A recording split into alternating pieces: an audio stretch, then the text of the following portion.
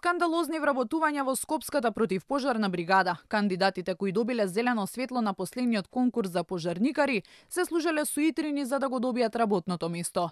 Четворица етнички македонци се напишале како албанци, а двајца како припадници на други националности само за да бидат примени.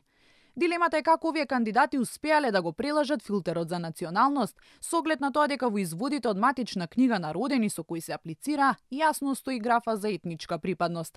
За скопскиот градоначалник Шилегов, која носи одлуката за прием на пожарникарите, нема спорни елементи. Во куст телефонски разговор за Канал 5, рече дека во прашање бил личниот избор на кандидатите и дека не можел да ги спречи да се декларираат онака како што тие сакаат.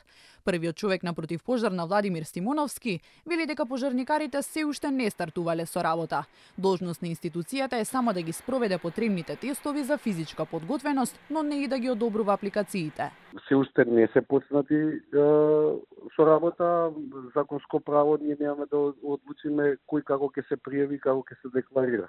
Нашиот дел е физичката подготвеност од тие три фази да ја провериме кај нас, сите кандидати што беа пријавени на конкурсот, сите беа уредно поминати, уредно забележани, уредно подпишани и самите кандидати и сами и на самите кандидати и за самите резултати.